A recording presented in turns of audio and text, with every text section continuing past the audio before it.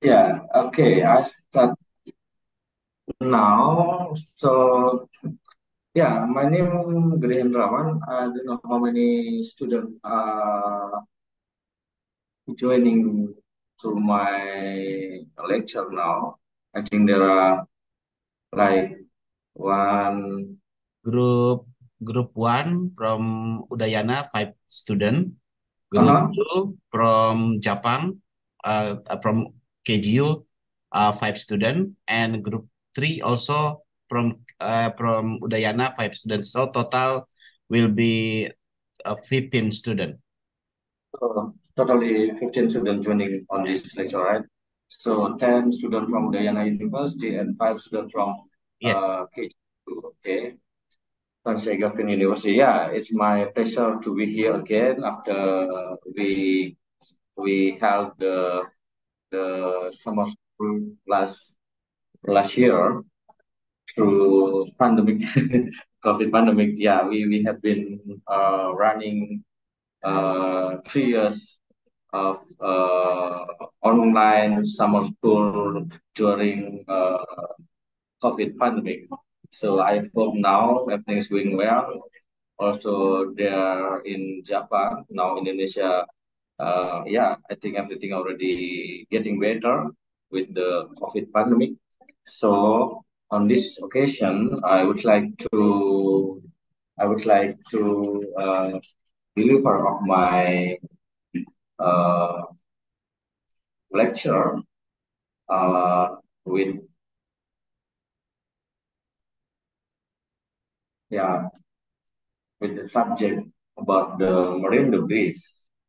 So I'm belonging to the Udayana University. and now I am as a vice dean for academic and uh, planning in Faculty of Marine Science and Fisheries, and also have a cross uh, job in in Center for Remote Sensing and Ocean Sciences. Uh, we call it uh, CRESOS, and I do uh, several research on marine debris and also numerical simulation in order to identify of the uh, greater in the in the ocean to understand how the the the litter uh, dispersion in the ocean through numerical simulation and also uh, supporting by the satellite imagery, particularly in the in the coastal area. So it's still a challenge uh, to clearly understand about the marine debris or marine litter. There are several several uh, several terminology about the marine debris we, we usually call marine litter, marine debris, that, that, that is the same. The, the definition is the same. So if you familiar with marine litter, it, it is the same with the marine debris. So this marine debris is still a challenge for national and international issue and now trying to tackling by many organizations in the world, including in Indonesia. Uh, marine debris is recognized as a globally significant stressor on the marine and coastal environment uh, with impact on marine uh, biodiversity having that having been reported over the last yeah, four decades since I think 1960, 1970, have already initiating to uh, understand about the littering in the ocean. So there are also uh, socio-economic impact. Nowadays, we have uh, influenced by this issue with uh, marine litter. Um, as the bridge also can can be a health and safety hazard and can also affect commercially significant resources. So this marine debris issue uh, recently uh, being a global issue, global problem, and also trying to overcome by worldwide organization worldwide uh, scientists and also uh, among the country in in, in Asia, uh, Western country uh, that also as source and as the country that impacted by the death of uh, those of marine debris. So, uh, what is marine debris stand for? What is the marine debris stand for?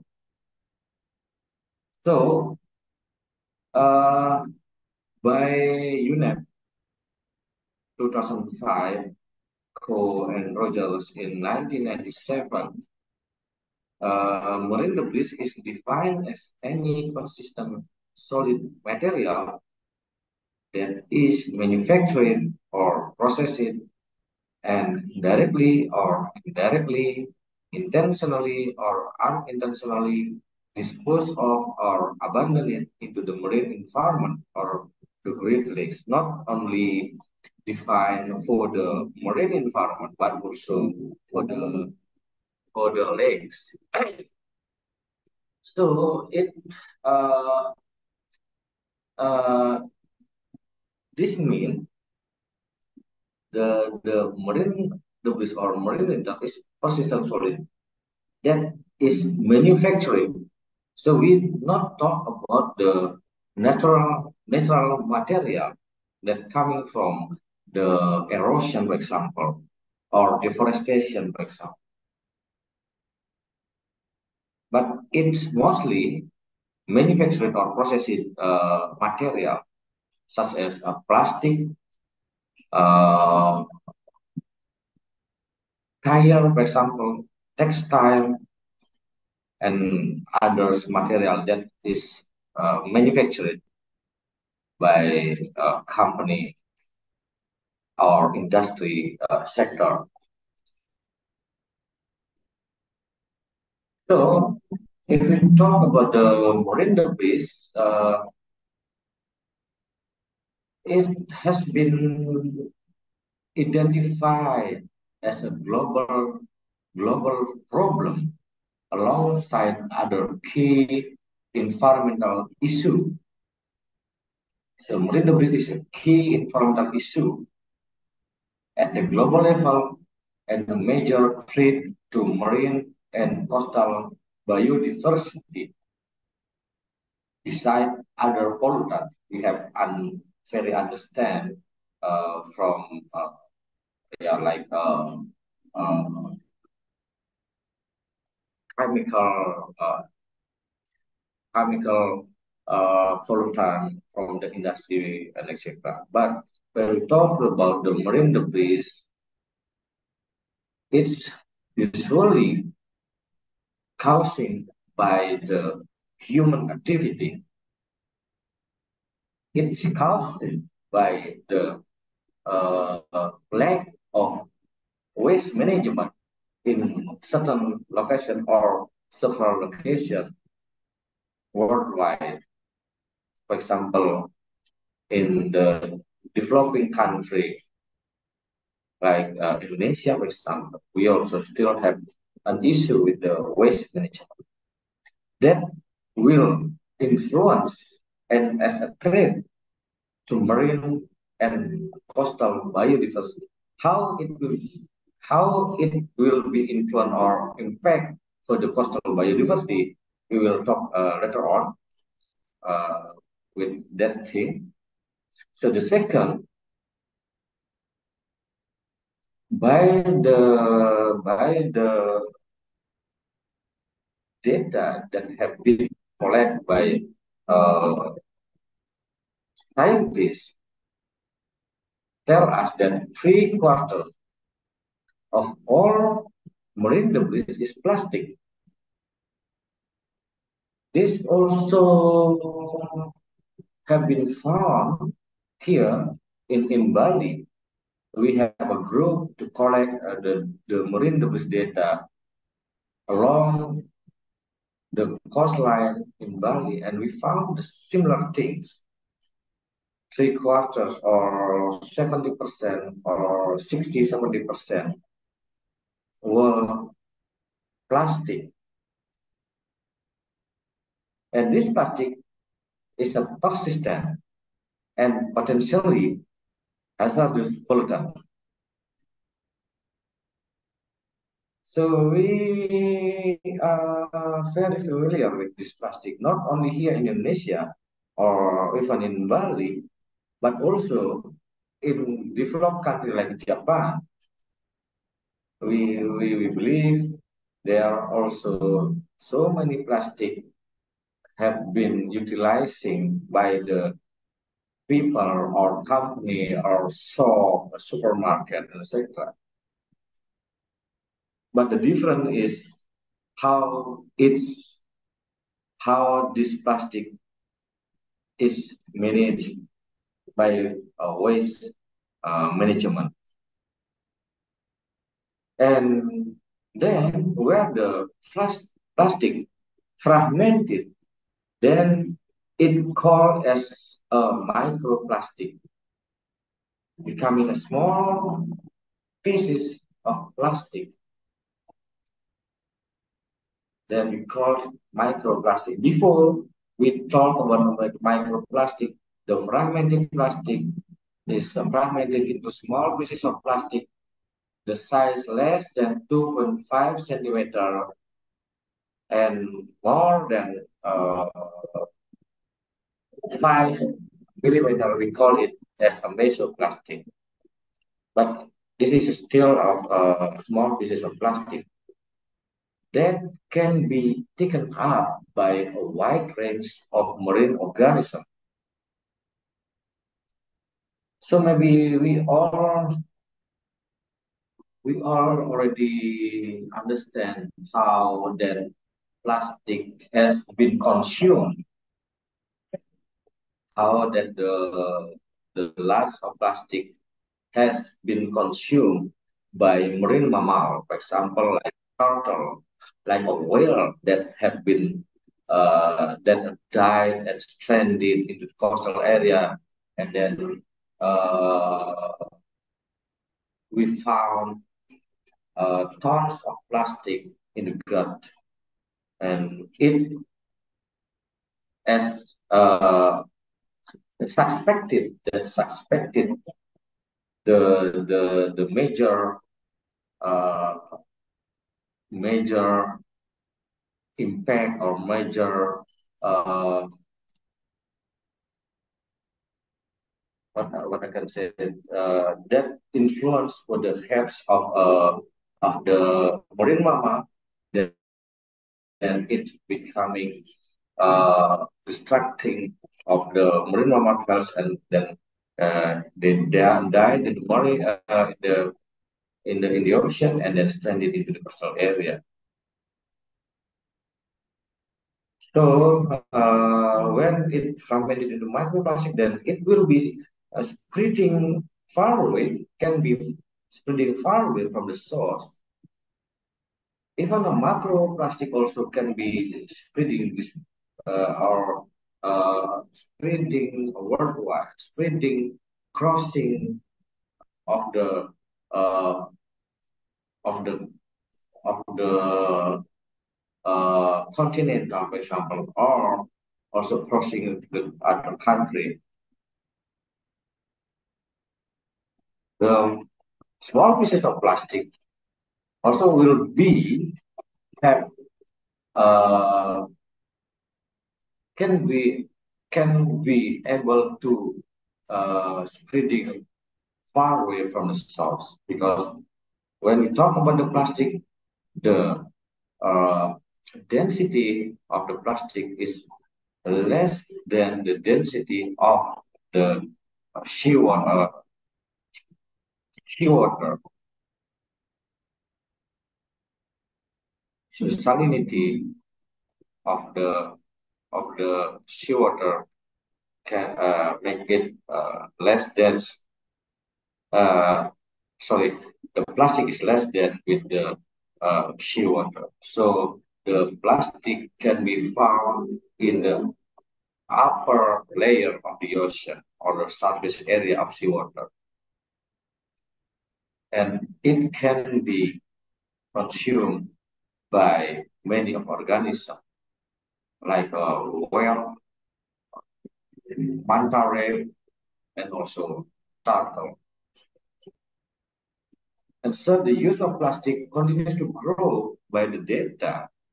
Even we uh, we have a problem or or we talk and so many countries said this plastic is a big issue in the world, but the plastic consumption still continues to grow.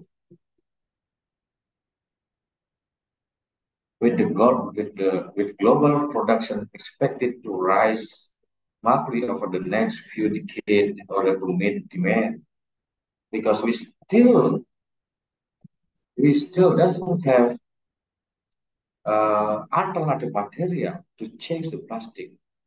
So this is challenge for the for the scientists. How then we can produce the uh, better material rather than plastic and have also a good ability like a plastic. And this is the challenge for all of us, including the university and the student. So how then we can make an innovation? How then we can uh, find the better material to change the plastic and becoming sound uh, environmentally.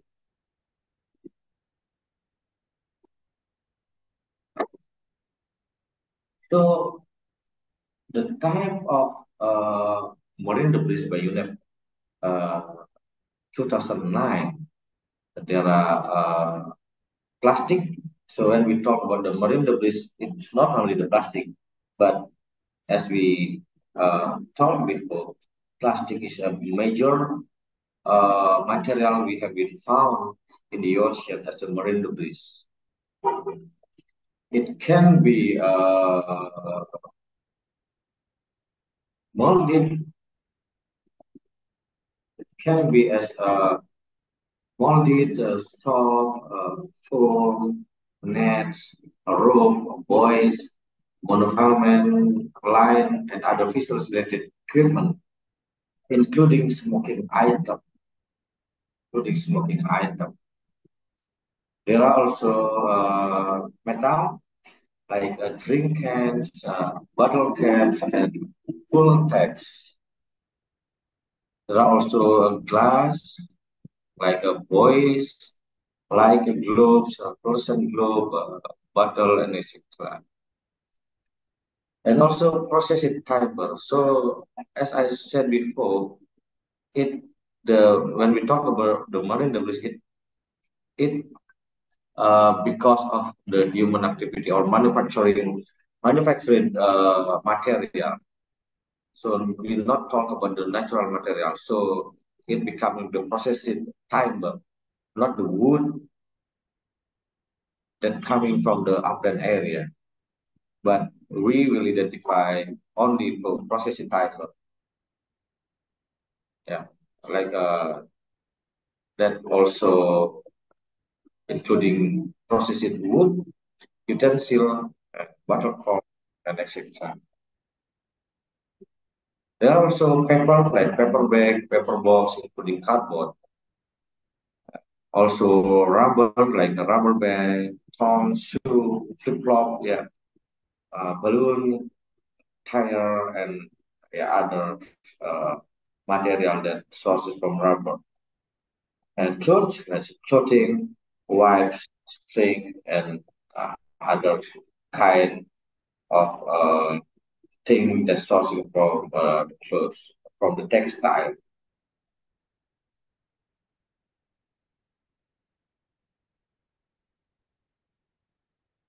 So, uh, yeah, plastic make up most of the marine debris owing to the recalcitrant nature. As I said, plastic represent up to 70% of the marine debris that washed ashore on beaches or might also be found in remote polar regions, thus becoming ubiquitous in abundance. So yeah, when we talk about marine debris, usually we uh, concern about that this thing, uh, plastic pollution that polluted of our ocean. And by the data, 80%, 80% of plastic, the, the, the percent of plastic in the ocean is coming from the river. So when we when we talk about the uh, plastic polluted of our ocean, then usually we will concern about the river that are uh, discharging into the ocean before end up into the ocean. So river is one of the way trans will transport it of the plastic from the area into the ocean. Because of the current mechanism, because of the current mechanism or water circulation in the ocean, then those of plastic can be found in the polar area, remote polar region, or is also remote, uh, remote island. Even there are uh, even no, there are no population living in the island, but we still can find of plastic, or even more than the main island that uh, that uh, uh, there are uh, as a place for living of the of the people. Because when the the the, the, island there are uh, the people living there then they can make a cleaning up of the of the beach, for example, but for the remote island, it's very difficult to clean up by the people. So usually it will be accumulated in the remote island or remote polar region. The accumulation of plastic in a certain area can be as uh, can be can be have a big impact for the ecosystem in the area. It can be fragmented, it can be uh, can be covering of the of the uh, root of the tree, for example, root of the mangrove, for example. Like in Bali, because in Bali is a tourism destination, and so many people living here.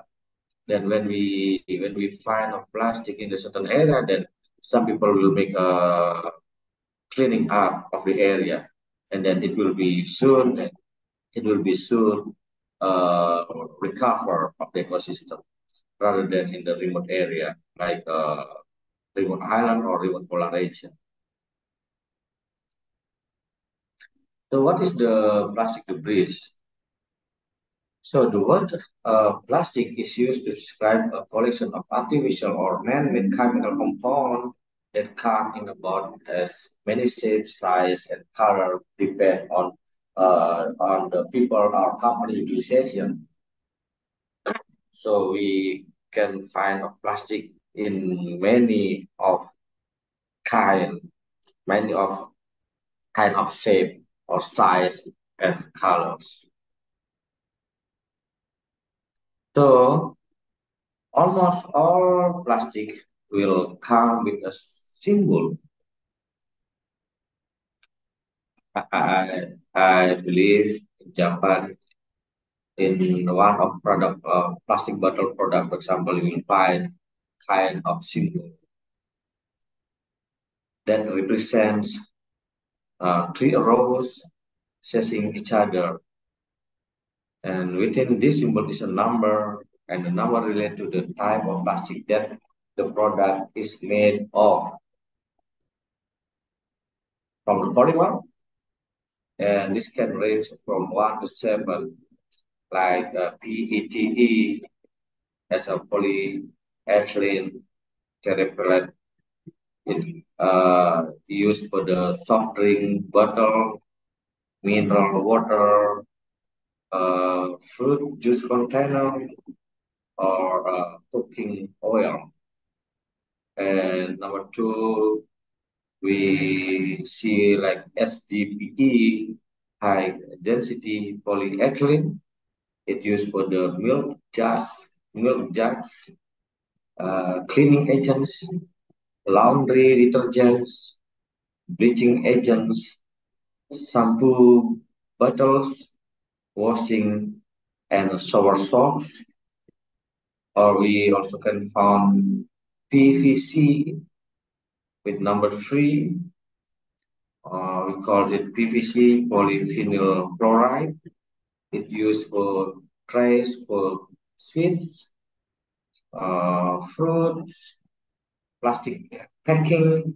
Uh, we, we, we usually we usually saw like bubble foil and food foils to wrap the food stuff. And there are also LDPE number four or low density polyethylene. It's used for the crush uh, bottle, shopping bag, highly resistant sacks, and most of the wrappings. And we also can see the polypropylene or PP number five. It's used for the furniture, consumer, uh, luggage, toys, as well as bumpers, lining, and external border of the car. And we also can see polystyrene or PS number six. It is used for the toys as well. Tub, packing, refrigerator, a refrigerator trays that had uh, plastic, right? And cosmetic bag, costume jewelry, uh, CD cases, and uh, fanning cups. And others, uh, number seven, uh, uh, other plastic, including acrylic, polycarbonate, polylactic fibers, nylon, and fiberglass. So this a kind of uh, plastic usually we found uh, and also put a symbol by the company to identify and also it will be uh, related to how then we can recycle of those of plastic.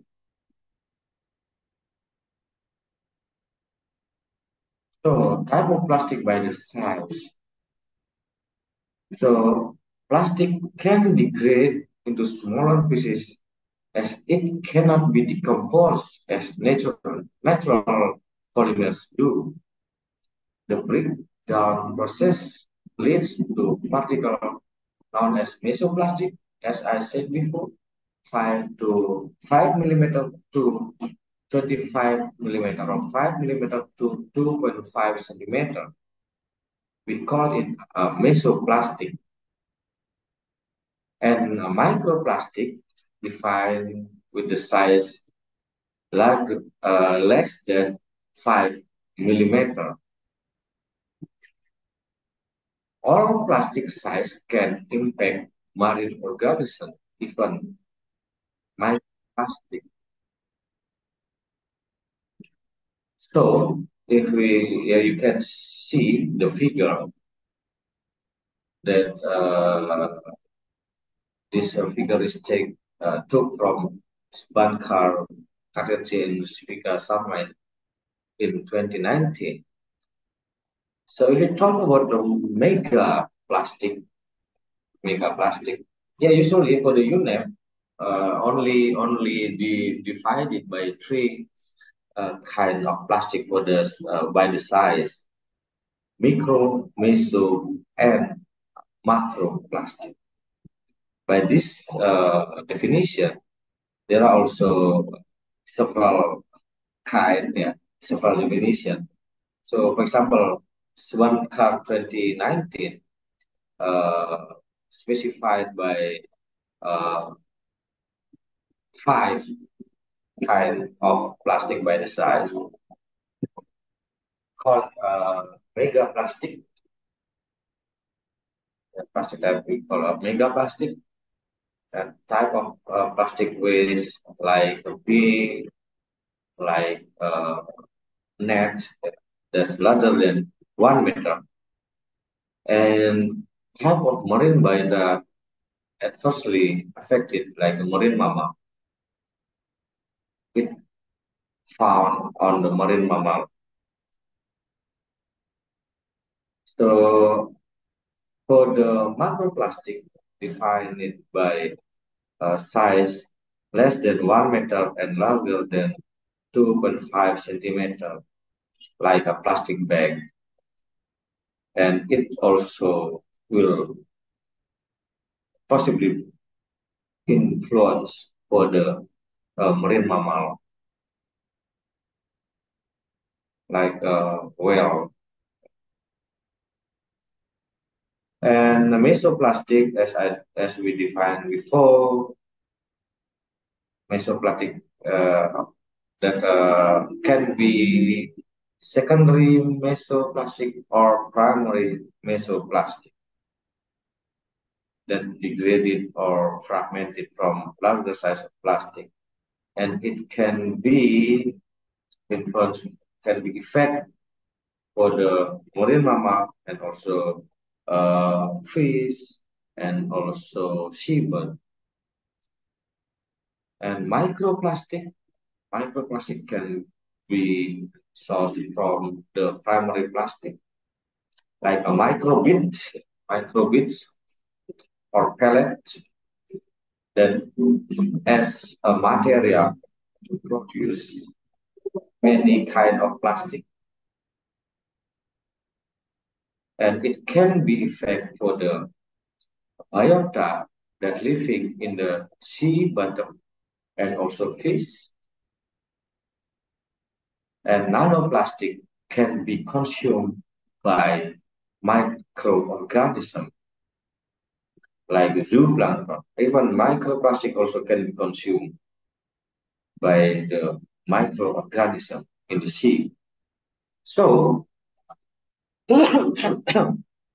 plastic, when we talk about plastic from nano to mega plastic, can be influenced, can be effect for all of marine biodiversity from microorganism to marine mammal.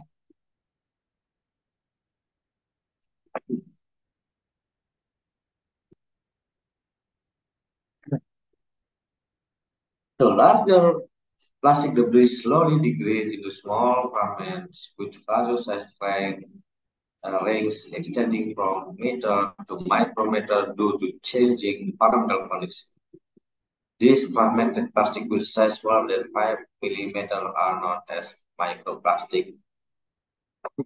And if we see here, nanoplastic can be less than 1 micrometer.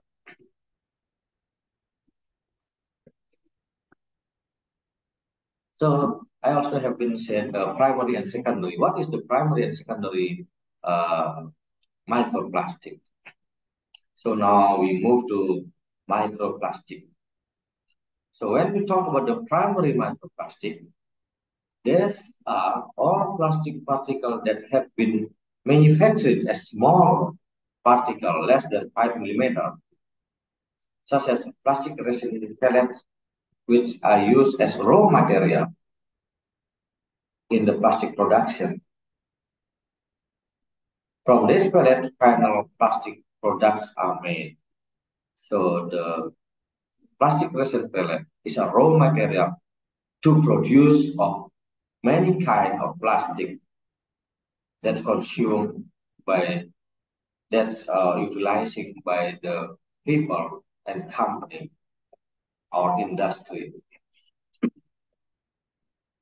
And another very common type of primary microplastic are microbeads. As I said before, microbeads. These are very small particles that are often used in personal care product and cosmetic as scrubbing agent. So I, I don't know how it was uh, it, it's still uh, using by the cosmetic or not, but uh, some products still I, I, I saw in the in the shop, for example, identify, but still uh, used by several products for the personal care product. Yeah, that also still a microbead inside. So this is a primary uh, microplastic. So the primary microplastic is uh, the, the small particle that manufactured as a small particle. Not because of fragmented from the larger size of plastic, but the plastic that produced as a small particle, as a raw material to produce other kind of plastic and also utilizing for the personal care products and cosmetic. And secondly, microplastic, Secondly, microplastic. So uh, when I talked before, I I mentioned I mentioned about the primary micro, uh, sorry, secondary microplastic because I talked about the fragmented plastic from the larger size of plastic. So secondary microplastic is all plastic particle that originate from larger species. For example, due to mechanical breaking of plastic. When plastic, for example, plastic bag descend in the ocean, it can be fragmented because of the sunrise, because of the waves, because of uh, the seawater salinity, uh, salinity, and it degrading, becoming small pieces of plastic, then become of microplastic. So originate from the larger plastic and degraded and or fragmented, becoming small pieces of plastic that we call microplastic that the size less than 2, sorry, 5 uh, millimeter or half centimeter. So, plastic by the shape, microplastic, type of microplastic by the shape. When we identify a microplastic that we collect from the field, that we that we collect uh, that collect from the sample of sediment, for example, collect from sample of the seawater, for example, collect the sample from the fish, for example. Then we uh, distinguishing the type of microplastic, like this figure. Usually we find the fragmented plastic or fragment, usually, uh, usually from the hard plastic or pellet is the raw material of plastic. Fiber, usually coming from the textile or also fishing line or foam, it coming from the styrofoam box of uh, uh, fish that you're utilizing by the fishermen to keeping of the fish and also film. Film usually coming from the tin of plastic or like a plastic bag so usually we found uh, we distinguishing by five kind five type of microplastic fragment pellet fiber foam and film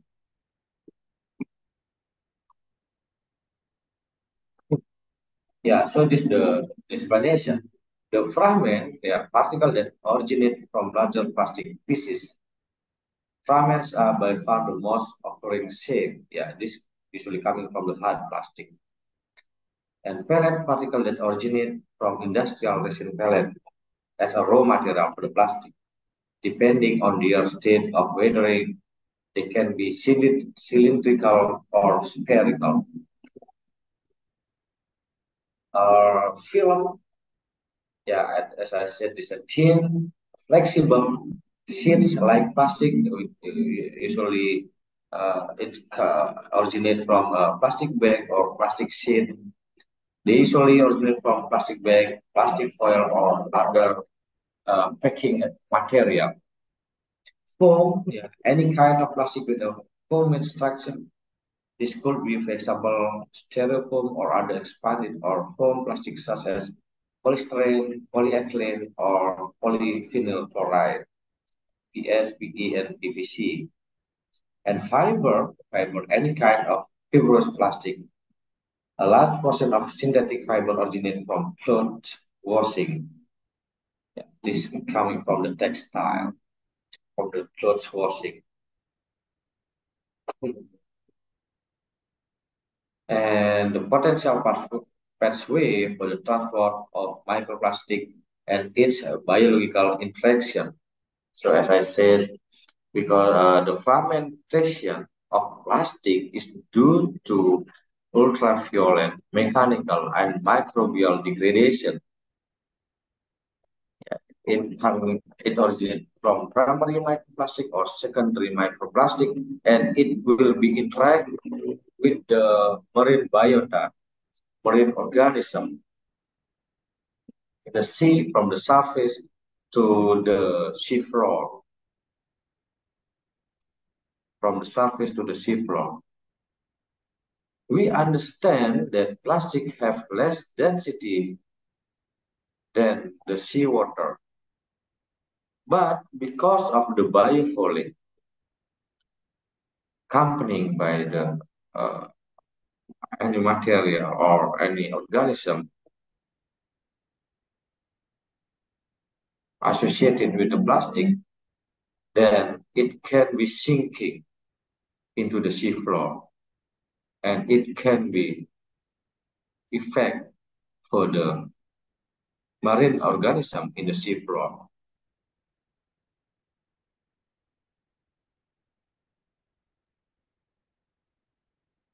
So what is the marine debris impact? Eh, sorry.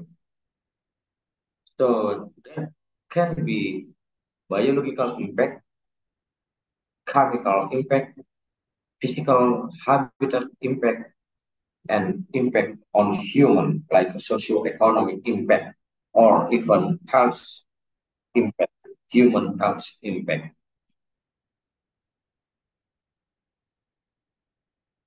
Okay, from yeah, before I continuing to the impact of uh, marine debris,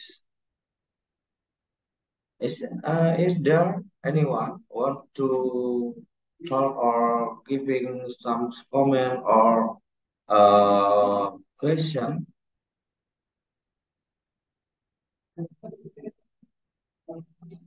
Because uh, this still uh, uh, yeah the introduction of marine debris. I will I will give uh, the the data on the next uh, lecture. So today lecture, I only giving you a basic of uh, our introduction of the marine debris or marine litter range from uh, macro and uh, macro and microplastic and also the impact of uh, marine debris for for the ecosystem for the human uh, marine and marine ecosystem. Is there any comments? Or do you have any thought about this uh, issue? Sir, or, yeah? I want to ask. Yeah, okay. Please your name. Okay, my name is Tari. I'm from Lena University. So, uh, last time you explained about the number of the plastic. There are seven uh, classy, yeah, seven types uh, based on the material. Uh, so, it is is it uh, classified by the dangerous of the material or just the code of the material? Yeah, okay, thank you, Tari. Uh, this type distinguishing are defined by kind of material. It relates to how then we uh, classify, how then we can uh, classify it, and it relates to the how then we recycle of this kind of plastic because uh, every kind of polymer have uh, specific specific technology to recycle it.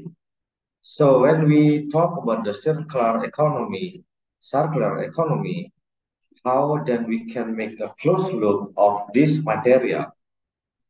How then we can make a, a closed loop of the material? Then we can reuse those kind of plastic. Then we don't need to adding any adding so much any polymer into the production.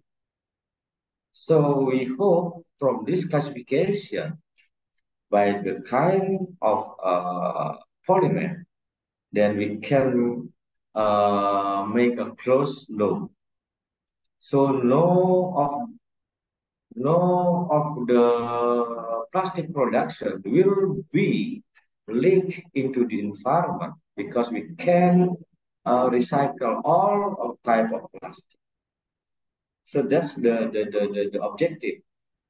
Why then uh, we distinct, uh, make a classification uh, by the polymer.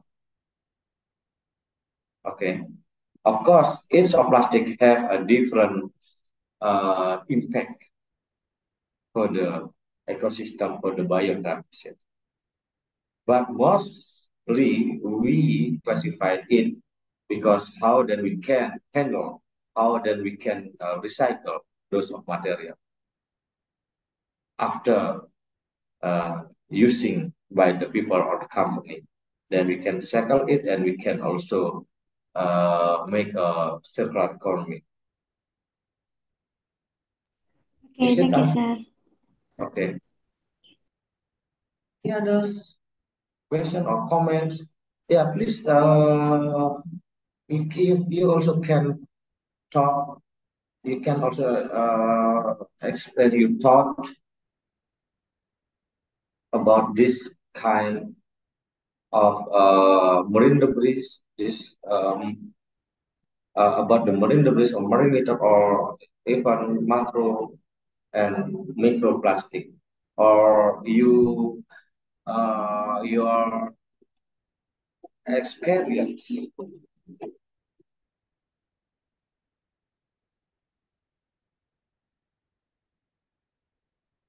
Do you know before about this marine debris issue? Or maybe from uh, Japanese student? Do you have any comment or maybe you have thought about this? Marine debris or yeah. You experience your experience about this micro or macro plastic in your country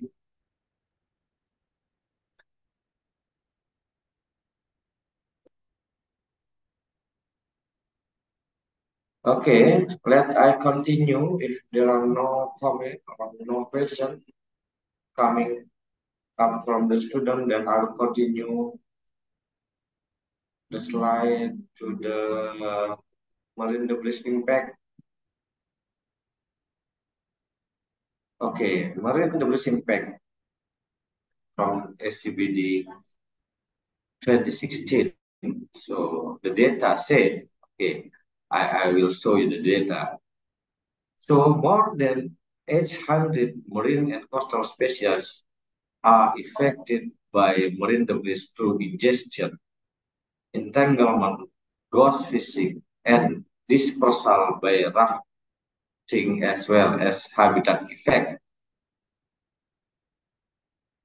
And more than 500 marine and coastal species are affected by ingestion of or entanglement in marine debris, which include the effect of ghost fishing. The number of seabird and marine mammal species affected by marine debris ingestion or entanglement is steadily rising. Seabird, not only marine organism, but also seabird are affected by marine debris. And there is increasing recognition of the impact of ghost fishing, with both ecological and socio-economic effect being reported.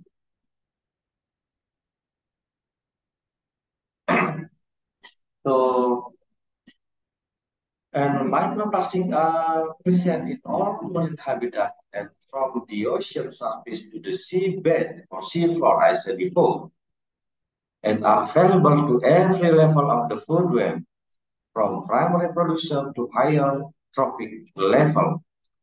Nowadays, we have been found that zooplankton as a primary producer also have been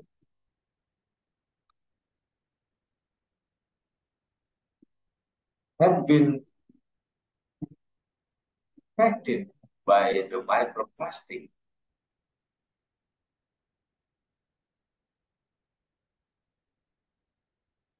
So this, uh, yeah, this is very, very dangerous. A higher trophic level as a base primary producer has been uh, contaminated by the microplastic. Microplastic are also providing a new habitat in the ocean for microbial communities, although the effect on ocean ecosystem and processes are not yet understood. New habitat in the ocean for microbial communities. How then microbia are associated with plastic or microplastic then will spreading from one area to other area that's far away from the origin, becoming a new habitat in the ocean in the certain area. Even this still not yet understood, but this the challenge for scientists to find out how it was, how it uh, have, how it uh, influence for the uh, for the marine ecosystem transported from one area to another area. Although laboratory-based studies have indicated that plastic containing hazardous chemical can have a detrimental effect on the health of marine organisms, this phenomenon has not been clearly shown in marine environment. so, nowadays, uh, there are several hypotheses that microplastic can be influenced for marine biota or even human health because the polymer can be absorbed of toxic material in the ocean like heavy metal like PCB then it can be it can be consumed by the biota or human by the people consume the fish, for example, that contaminated by plastic, that plastic already absorb the heavy metal or PCB, for example, then it can be can be uh, making a bioaccumulation in the biota or in the uh, uh, our body when we consume it. Indirect, indirect impact from the plastic to human or indirect impact from the plastic to the biota or fish And this still a challenge when we talk about the food safety. How then we can make a guarantee that the fish we consume is is not contaminated by the plastic that have been absorbed the toxic material in the in the in the in the marine environment. So this is one of challenge that can be explored by us by as a scientist or as a student. And when we talk about the biological impact, ingestion and entanglement, there are 44,000 reported cases of ingestion and entanglement affecting up to 1,400 marine species worldwide in 2015. That reported in 2015. And this owing to the fact that organisms such as seabird, fish, turtle, and marine mammal often accidentally ingest marine debris because of its appearance that can easily be mistaken as food. Okay. When we have a transparent plastic or white color of plastic in the ocean, the marine organism, marine organism can be mistaken of plastic as a food. So, the marine mammal can be consumed of those of plastic. Turtle can see the white color of plastic as a squid, for example, or maybe like, uh, yeah, as a food for them. So that's why many of cases was reported. Some, many of marine mammals contaminated by plastic, macroplastic.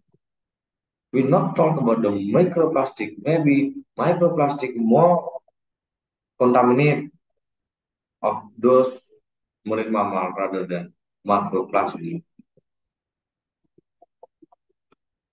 When an animal is entangled, it might drown and its ability to catch food or fight predator is impaired or incur wounds from abrasive or cutting action of touch debris.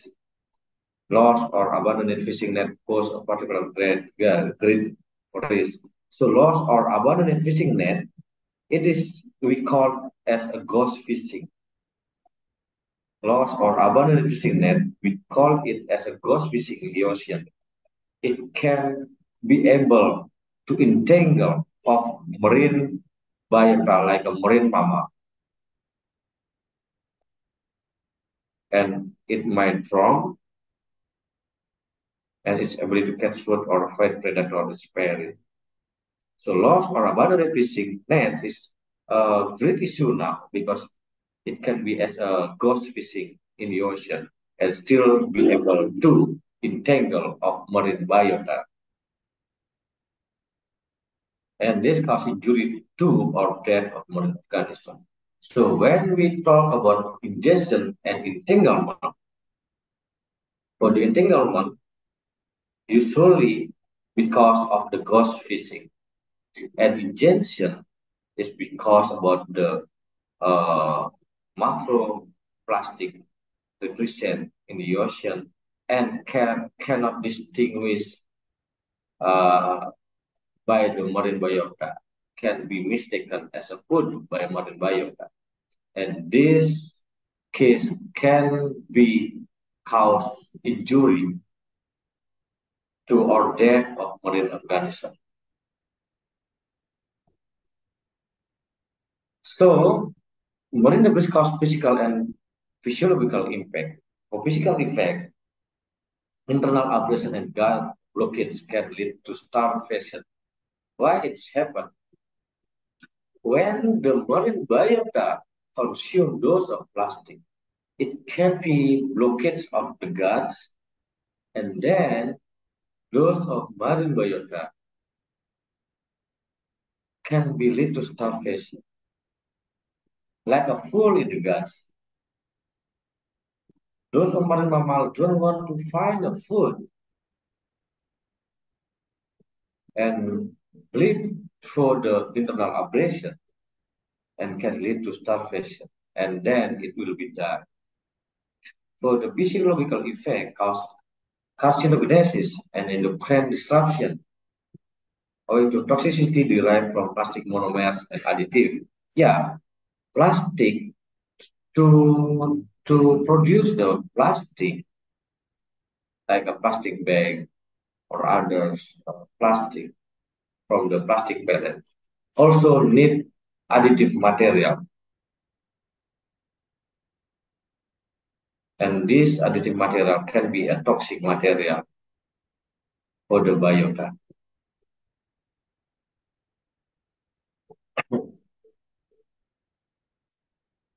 Like uh, impact on the sea turtle. So globally, approximately one third of marine turtles have likely ingested debris that there are several impacts of debris on sea. Reduction in quality of life and reproductive capacity.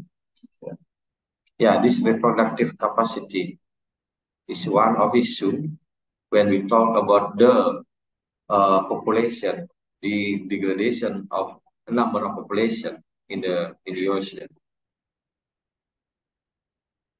because this of uh, plastic also uh, yeah some of scientists said it can be trigger for the infertility and it can be uh, related for the declining of the population.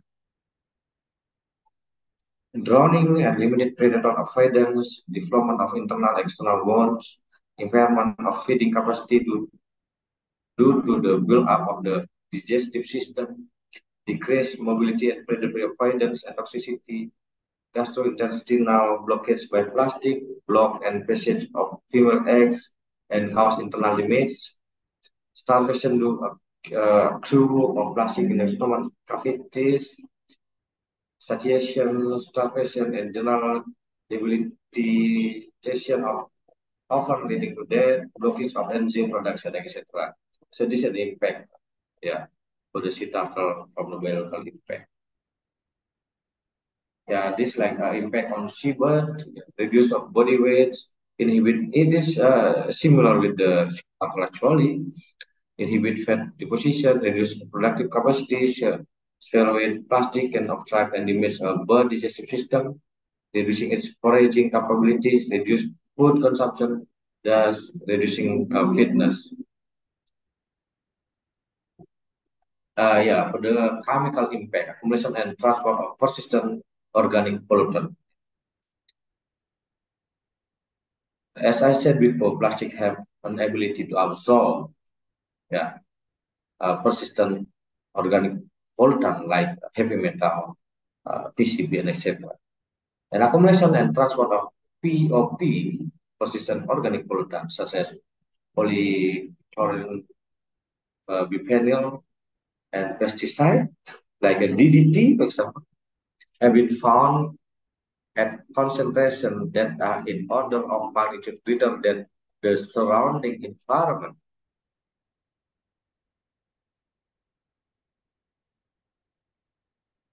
Plastic accumulates pollutant to 100,000 to 1 million times the level found in seawater. And plastic have the potential to absorb chemical of concern from the environment and serve as a potential global transport mechanism for contaminants. Yeah, this the ability to absorb, potential to absorb chemical concern from that part. That uh, lead to for leaching of constituent contaminant from plastic.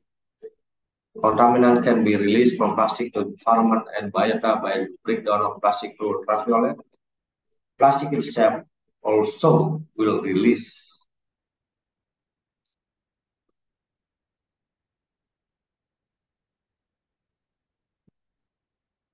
such as the accumulation of POP from plastic has been accumulated in seabed and benthic organisms.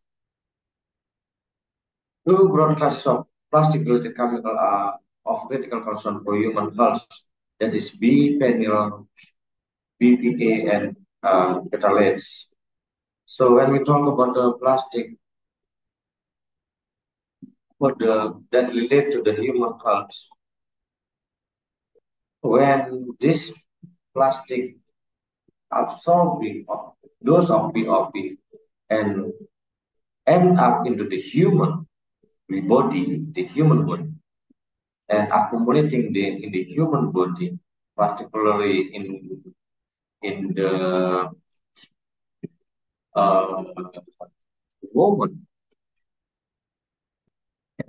because the woman can the mother of the woman can be uh, have a baby, woman have a baby and give a breastfeeding, then from this breastfeeding can be transferred those um, of heavy metal, for example, to the baby. So the baby can be contaminated from the early age, from the beginning, they can be contaminated. Yeah, I talked with the with the uh, doctor uh, five years ago. Endocrine doctor said, "Yeah, the this is a big possibility. The woman who giving a breastfeeding that contaminated by uh, plastic, then plastic or absorbing dose of POP can also transfer it to their baby. It's very, very dangerous.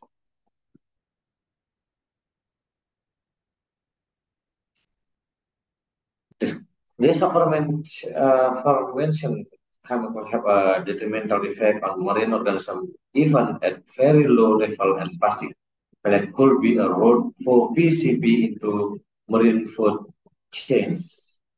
So now plastic have been involved on the marine food chains.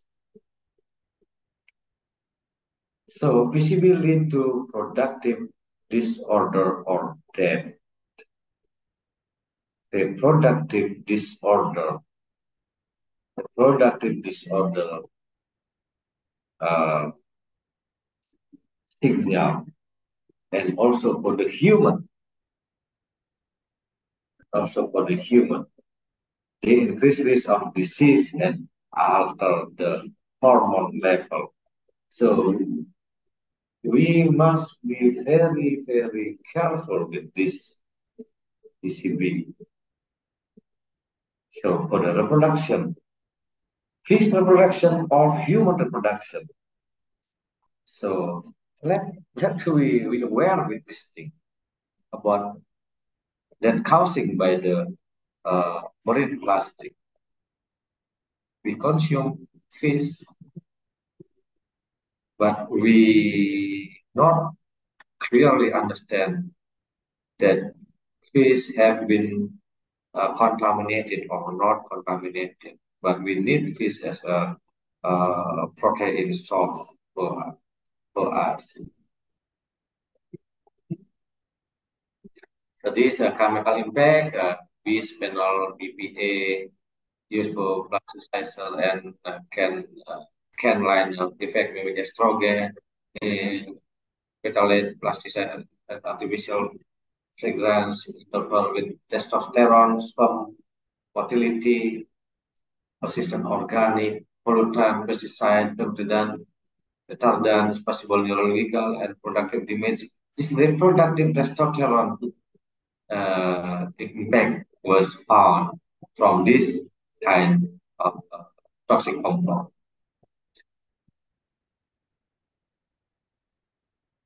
This physical habitat impact accumulation of debris. The accumulation of debris may be modified habitat structure, reduce light level in underlying water, and oxygen level may be depleted. This change can undermine the ability of open water and aquatic habitat to support life.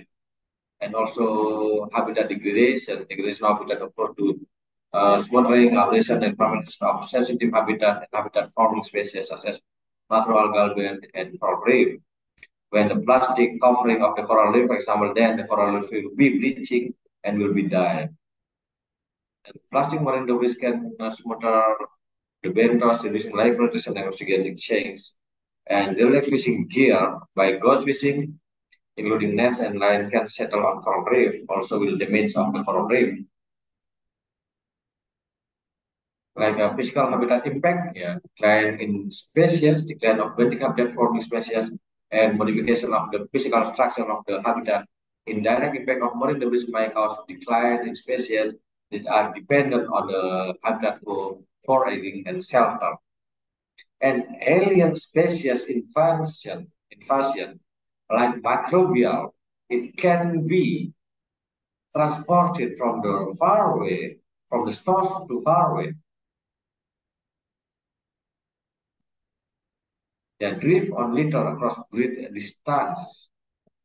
This uh, alien species also now becoming a concern for the uh, scientists and also environmental issue.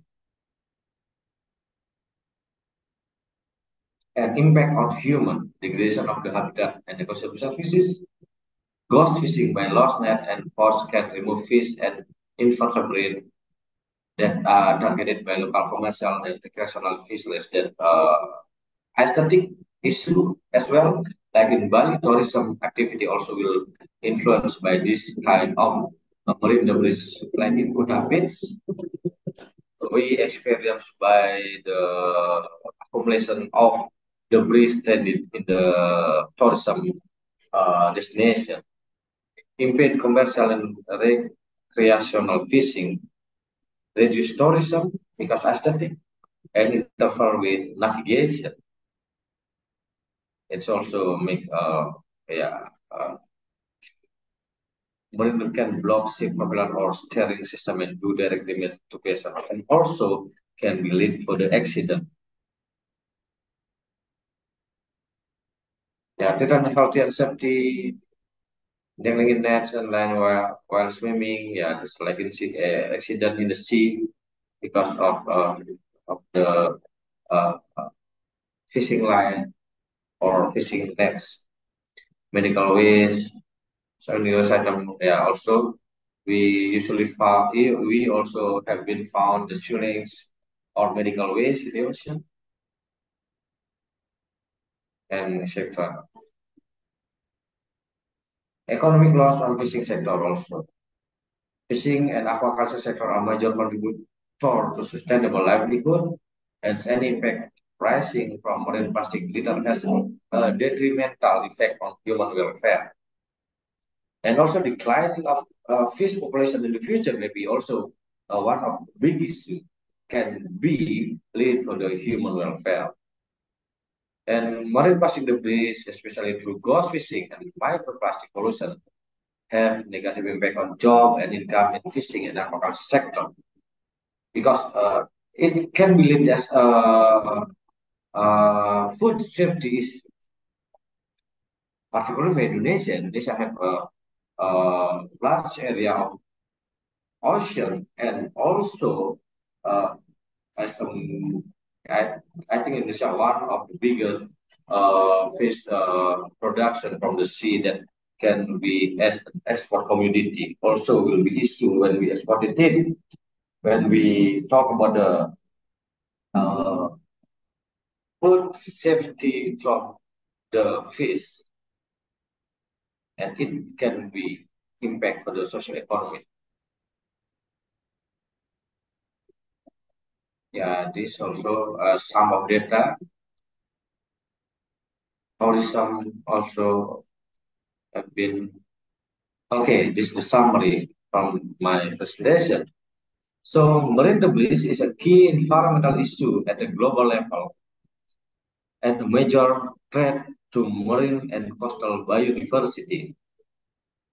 Marine debris continues to have an impact on a wide range of marine fauna, with many new records of species affected through entanglement of, or by ingestion of the debris items, particularly various forms of plastic.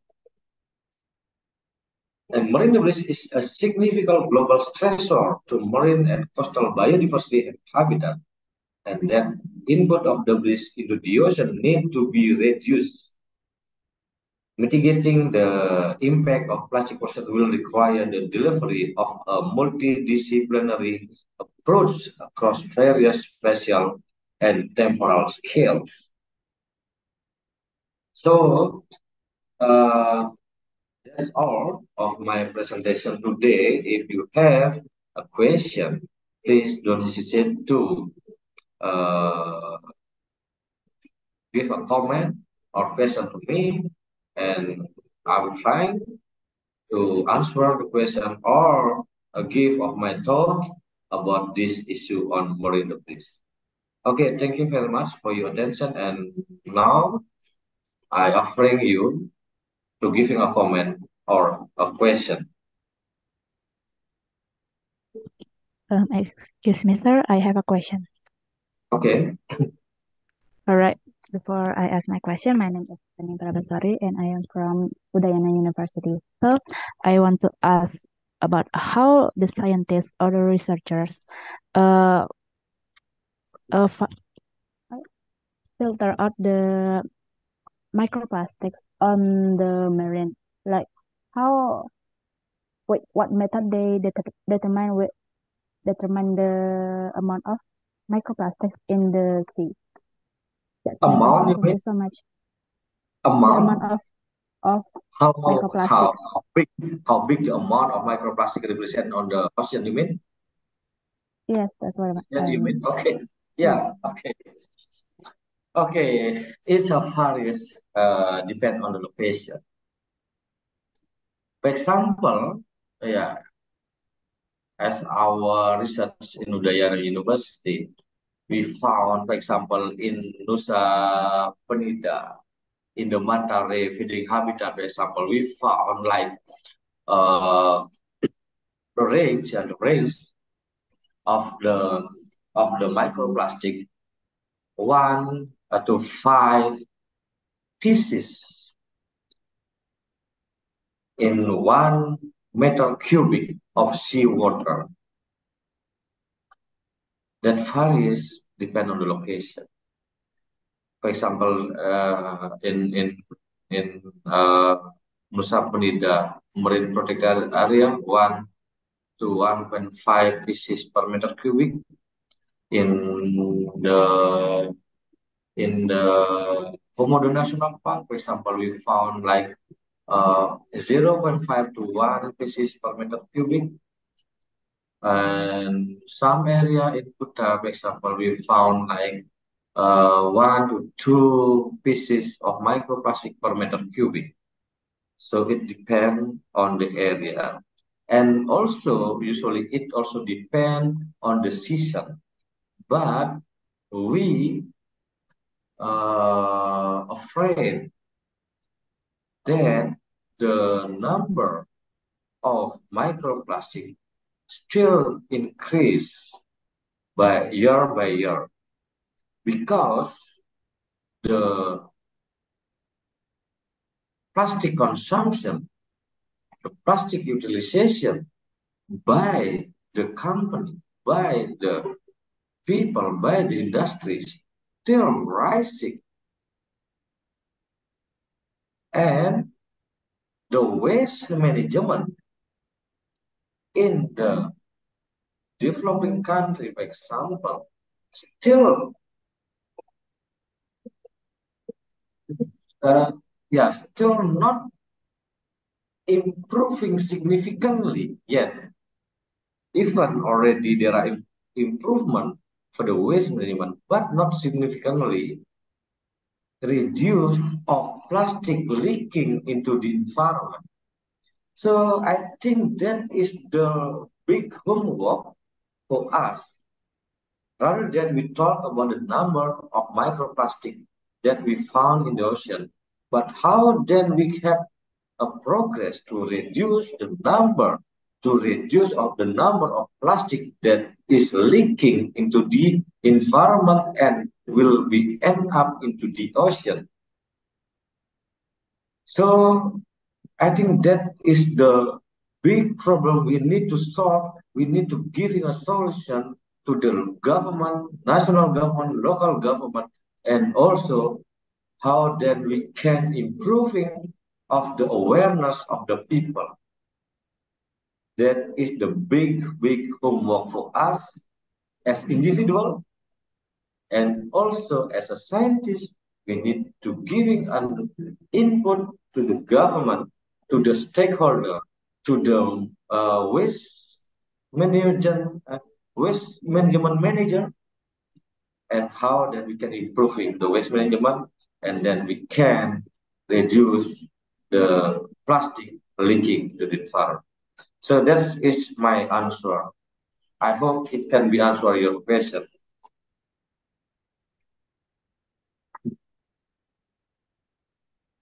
Is there any question or you have uh, another question? Uh, it's already clear enough. Thank you so much. Okay, thank you. Yeah, you don't uh, yeah. Uh, uh, uh, so, uh, Hendra Sensei, uh, I have uh, one short question. Okay. Okay, so uh, you mentioned that the uh, microplastics uh, shows a uh, end, uh, activity as an endocrine uh, disruptor. Uh-huh. Sorry. Okay. In, in... So yeah, endocrine uh, so microplastics shows their activity that uh, as an endocrine disruptor. Uh-huh. Um, in, but in... endocrine uh-huh. disruptor. Okay. Yeah, but uh, it's my it's just my impression. But uh, uh, microplastics seems to be larger than the ordinary endocrine disruptor. Mm -hmm. Mm. But uh, you, you, also mentioned that uh, uh, uh microplastics can absorb uh, chemicals. So my mm -hmm. question is, uh, does the microplastics directly exert its activity as an endocrine disruptor or it's, it exerts its endocrine disruptor activity through the absorbed chemicals? Yeah, yeah, yeah. Okay, it's uh, indirect hmm. disruptor because uh, as yeah, some of uh, research said that uh, the microplastic have an ability to absorb of uh, persistent organic uh, persistent uh, POP, yeah? Mm -hmm. uh, and then it can be indirect disruption for the for the marine biota and also mm -hmm. for the human health. Uh, uh, as long as I know, this is still uh, the challenge for the scientists because there are not so many evidence. There are not so many evidence said that the plastic, the plastic is a, a agent, is an agent to bring those of the toxic material into the marine biota but need to be exploring more further to make a more evidence about the about the role of plastic or microplastic in order to be able to transfer those of POP into the mm-hmm. bio or mm-hmm. uh, human body. Is that you mean? Yeah, yes. So uh, yeah, I Thank you very much. I, I the challenge for, for us, I, did, I think this, this is a challenge for us, uh, particularly, uh, I think uh, Pak Bibin laboratory can be explored that thing because I'm not coming from the the the, that uh, uh, study because I'm a yeah, marine scientist. So I think there needs uh, uh, kind, uh, from other other discipline to explore about that thing. But that uh, say from some of the paper. Yeah. Okay. Thank you. Thank you very much. Yeah. Thank you. Are there any any comments? Not only question, but you also can be giving uh, your thoughts here or comments.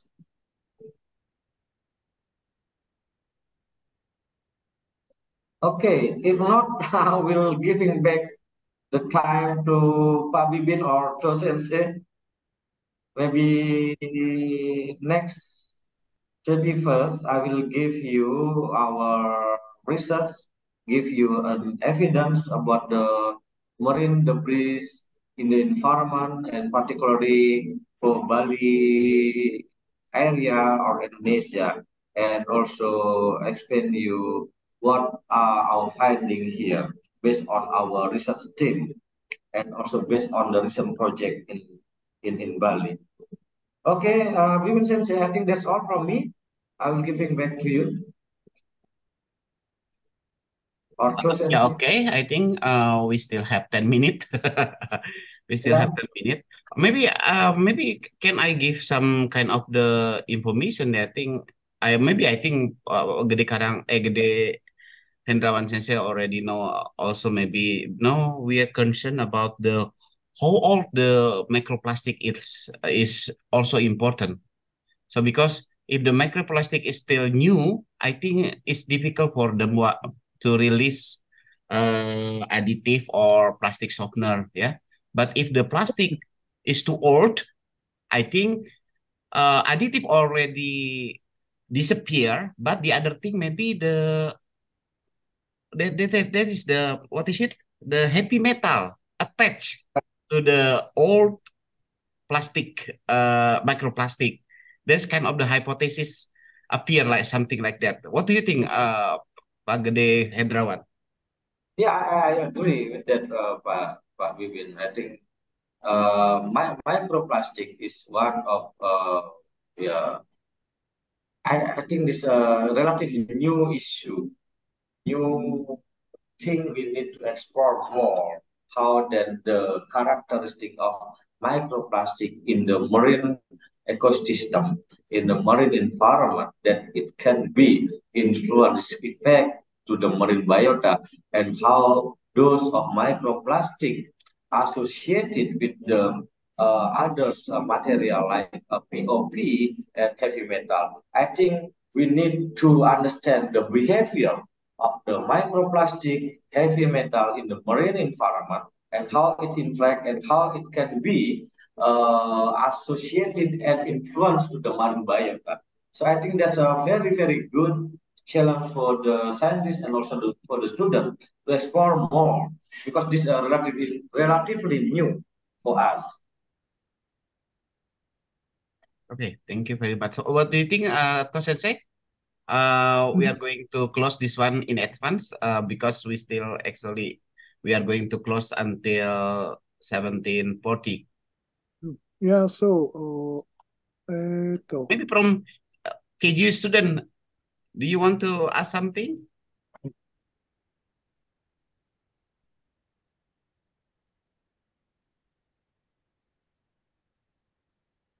no question. Yeah, I, am sorry. I'm I'm giving the lecture in this.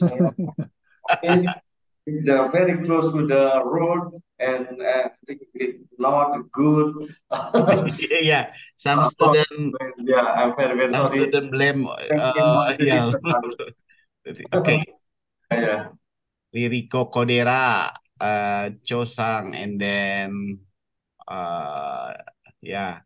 Please, if you would like to ask, Ririko Kodera-sang. No problem. Okay. Maybe Cho-sang? oh, yeah, it's here. Okay. You also, of course, you can typing your question in the chat room if you want. If you don't want to talk here, but you also can type in your question. This is also okay. Or you want to keep the question for the next lecture, it's also okay. The, so the subjects of the their presentation will be given uh, the next time. Yes. Uh, yeah, ah, okay, okay. it will continue because this only the introduction, and then the next lecture Yes. I will give uh, the yeah what we are doing here, what we were doing here. Okay, so uh, it's a bit earlier, but uh, if no question or no comment, uh, let's close today's seminar. Uh, uh, okay, no, uh, no question or no comment. You can Okay. keep your question for the next lecture. Yeah, okay for me. Okay, Bibin says okay. Do you have any announcement? No, no, just uh be careful. Tomorrow we will have some lecture, and tomorrow in the end of the lecture we will have final presentation. Please pay attention. And for your consideration about tomorrow lecture, I think I have some suggestion. Please uh check the YouTube. I, I would like to show you. Okay. Uh, so, Bibin says, uh, have you already uh, to announce that uh, uh, the lecturer uh, lecturer is uh, uh, changed? yes. So, yeah. uh, uh, okay, okay. Okay, so therefore I would like to show you this one just for your consideration, special for student from uh yeah of course from KGU and also from Udayana, uh because uh, we would we would like to talk about uh lecture from look here. I think you can open the KGU SciTech and maybe you can open the part five. Yeah, the part the part five this one. Photosynthesis yeah sorry uh wait a moment. This is exam yeah this is uh from uh, wait a moment.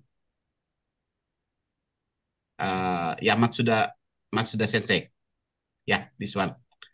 Photosynthesis in marine science uh the part 5 so at least uh, if you would like to study in advance to hear uh, and then also maybe because tomorrow you will have some final uh what is it final presentation, Presentation. but I don't know uh, what kind of the presentation that uh what kind of the subject or, or tema that uh Matsuda Sensei will offer any kind of the information from Kato, uh, Sensei Uh, no, Okay. Yeah, this is only uh in this uh in this uh video uh they give uh kind of the lecture but about the theme we don't know what kind of the topic that uh Masuda Sensei will offer to you. So please just for your consideration about his lecture uh you can see in this video. Okay, only that one maybe Sensei. yeah, okay. So, uh, let's close uh, today's seminar lecture. Yeah. Okay. Okay. Okay, the, see you tomorrow. Uh, see you tomorrow. Yeah, thank you, Ade. Okay. Yeah. Please click the okay. See you Uh, tomorrow. uh, is it okay uh, not to open the uh, open the camera? today? Yeah, it's too late. yeah. Yeah. Oh yeah, Yeah. yeah. Oh, it's too late. Okay, no problem. Next. See you tomorrow, sir. Yeah, see you. See you. Yes. Okay. Okay. And meeting. Okay.